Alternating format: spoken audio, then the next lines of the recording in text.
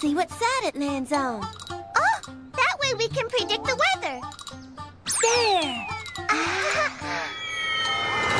Ah! Holy shit!